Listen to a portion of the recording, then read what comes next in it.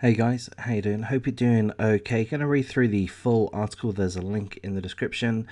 This is, you know, basically a very political subject. Uh, I am trying to avoid politics on this channel, but you know, kind of dabble in it a little bit every now and then, I suppose.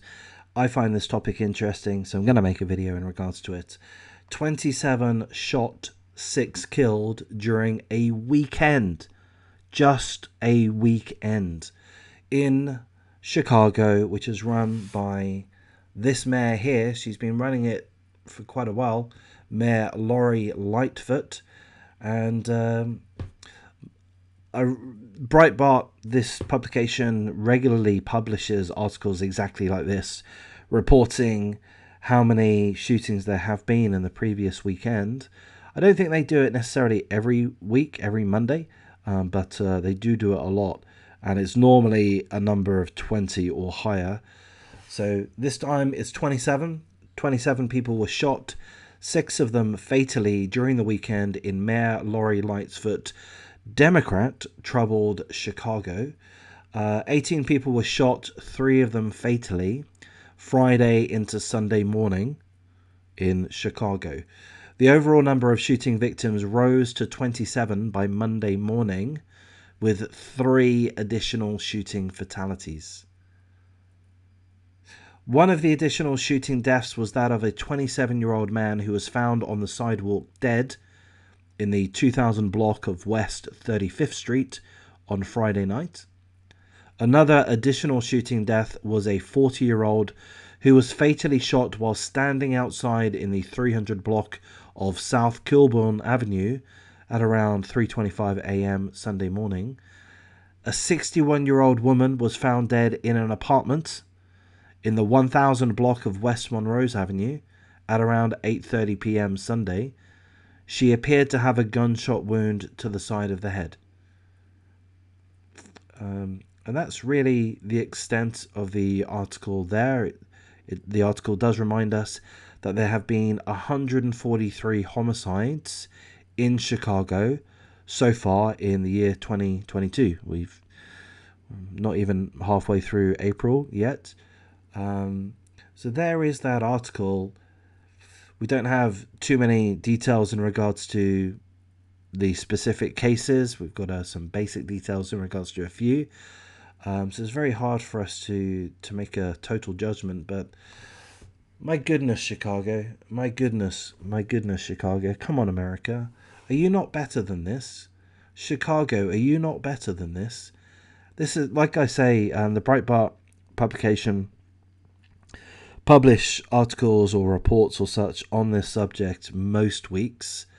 Uh, and they've done that for I mean, I, I, mean, I'm going off the top of my head, but I think they've been doing that for a good couple of years. A good couple of years. Where's the improvement, Mayor Lori Lightfoot? Where is the improvement? To be honest with you, to be honest with you, I do blame the mayor in this case, but I do feel that perhaps I shouldn't. I mean, we could look at the mayor of New York, Eric Adams. He started in January. Look, is he making mistakes? Yes. I mean, we're just seeing time and time again um, people being released. He's seemingly he's not done enough to change the existing system, and the existing system seemingly is too weak. If uh, a man can run up to a woman in the subway station and attack her with by by rubbing, pardon me, rubbing feces in her face, that's what happened. Just what six weeks ago, and then he was let out. Like I don't know, after a couple of days or something, maybe even later that day. It's not just um, it's not just this mayor, Lori Lightfoot, that is ridiculous. Uh, there are other ridiculous mayors too. They are doing the wrong thing. They're not being strict enough. They're not being harsh enough. They're not being firm enough with their sentencing. Um, there is that. Um, but at the same time, it kind of seems a bit of a lost cause, to be honest. Bit of a lost cause. Seemingly, there are too many people in, let's say, Chicago, we could say New York, but certainly in Chicago, there's too many people. I presume most would be gang members or gang affiliated. That would be my presumption. Could be wrong. But there are too many people in Chicago that are more than happy to shoot and to kill, seemingly. It looks like it's a lost system. I'm pretty black pilled, as it were. I'm, I uh, don't hold too much hope for the future. Certainly not of Chicago. I mean, it's where again. I'm just repeating myself at this point, so I'll wrap up in a second. But where's the improvement? Where's the improvement? If there's no improvement over an extended period of time, and there hasn't been over an extended period of time, then what do you do then? Well, I think the answer would be you do something else. You make drastic changes you go, okay, well, this hasn't been working, so fuck this. We are now going to do something else. What should that something else be? Well, I don't know, but my gut feeling would be be incredibly stricter in regards to law enforcement. That would be my gut feeling. I'm not saying that that's the perfect solution, it's not. Be a very high cost to the taxpayer. A lot of people will be incarcerated. That's not an overly good thing in itself. Um, but I mean, what can you do? You've got to do something, and what they're doing at the moment isn't working. I'll wrap things up there. Um, again, there's a link in the description. This is an interesting topic, so I'll probably carry on reporting, making reports like this for Chicago, perhaps other cities. I'd like to know more about what's going on in Los Angeles and Atlanta as well.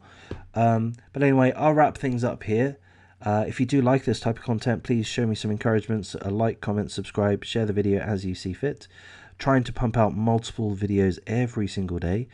Um, it does overwhelm me a little bit at times, um, but uh, you know, I just got to push myself to do it. You know, that's cool. That's cool. Um, so uh, I'll thank you for your time and uh, take care, guys. Take care, especially if you're in a city like Chicago. Stay indoors. Lock yourself indoors. Thanks.